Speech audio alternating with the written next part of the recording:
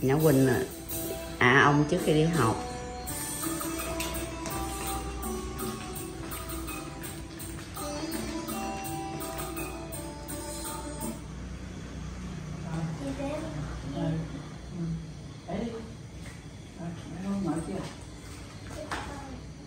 Bye bye ông nội con đi học.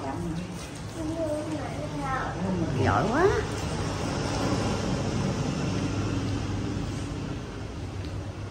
Thưa bà nội?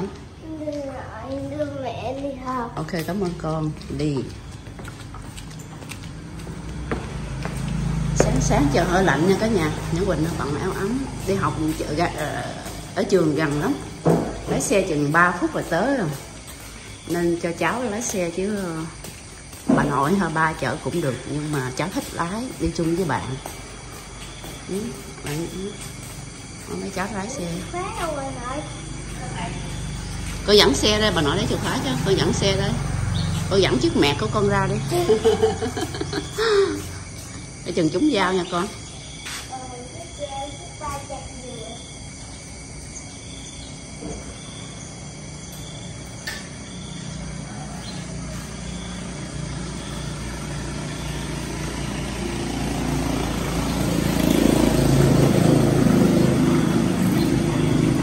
hồi nãy con có nói nữa mấy cô, mấy chú nói sao ba đã không hơi không chở con nói là trường học ở gần nhà.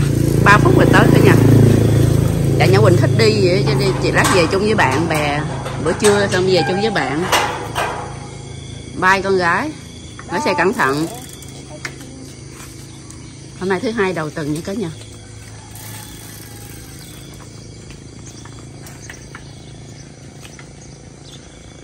chạy tới hết cái hàng cờ là từ cái trường học bên tay phải nha cả nhà. Đó, một hai ba lá cờ thứ ba là tới trường học rồi cả nhà.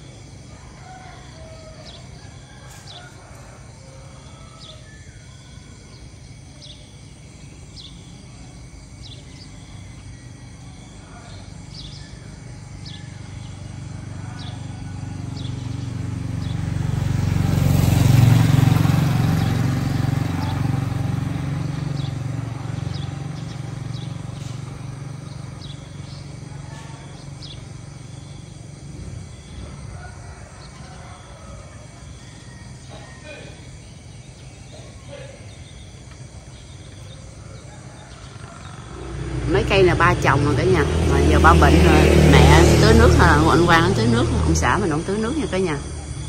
Bông này thơm lắm, mà không biết bông gì. Mẹ bông này bông gì mà thơm mẹ?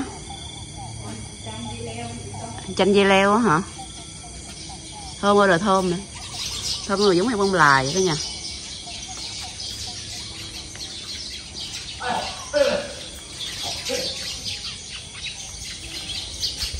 Chim hót liếu lo.